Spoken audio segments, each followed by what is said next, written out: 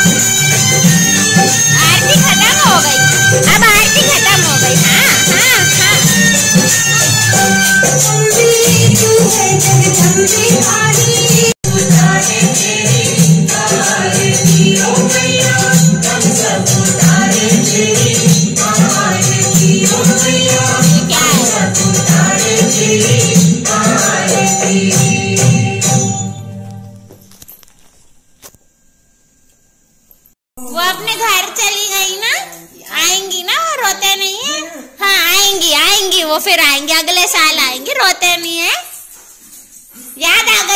जी की याद आ गई तुमको फिर से? अभी वो अपने साथ है पर तुमको दिख नहीं रही। हाँ है तो साथ में ही अपने ऊपर चढ़ के बैठी हैं। देखो छोटी सी बैठी हैं। हाँ।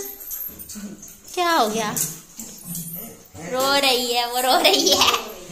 मम्मी से पूछ रही हाँ मम्मी तो ले जाती है। मम्मी लेके गई देवी जी को। हाँ मम्मी लेके गई। मैं तो बचपन में गणेश जी का विसर्जन भी नहीं करती थी। चली गई देवी जी दुर्गा जी चली गई? चली गई? नहीं है दुर्गा जी। अगले साल आएँगी। अगले साल आएँगी। घर में तो हैं, वो दिखती नहीं है। पूजी करवाने आएँगी अगले साल।